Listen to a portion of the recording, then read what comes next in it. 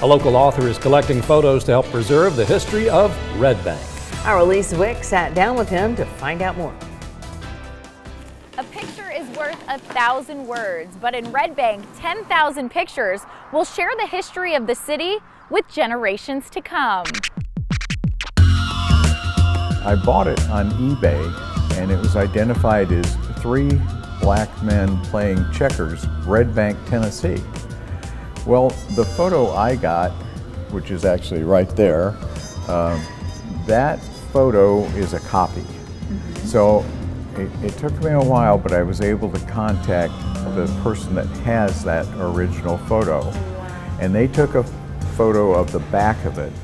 And on the back, it has the names of those three gentlemen and it says Red Bank, Tennessee. Lawrence Miller, a Red Bank author, says collecting photos of Red Bank will help keep the history of the city alive.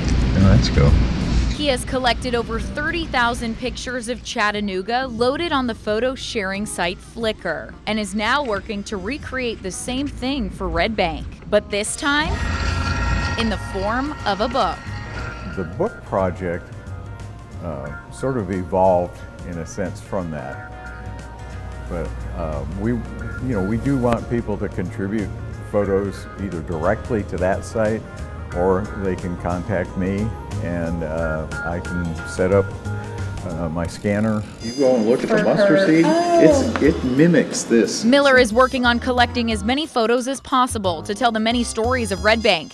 He is asking the community to bring their pictures to Meeting House on Dayton Boulevard.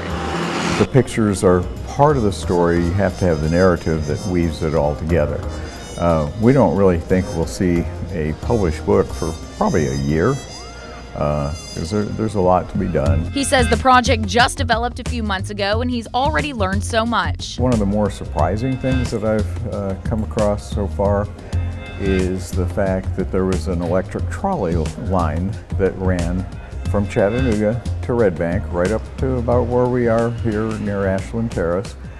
And in 1927, that uh, trolley line had a ridership of 1,500 people a day. The mayor of Red Bank, Hollie Berry, reached out to Miller to work on this project after Arcadia Press expressed interest in publishing a book on the history of Red Bank. Every town in America has a story. Red Bank has a story.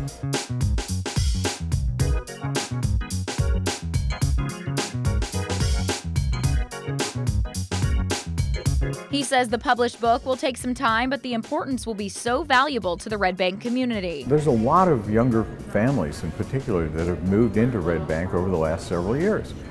And they want to know about their history. It's not like you go back and relive history, but if you have a knowledge of what was here before, that's, that's helpful, it's interesting. Be a part of preserving history one click at a time. Reporting in Red Bank, Elise Zwick, Local 3 News. That's interesting.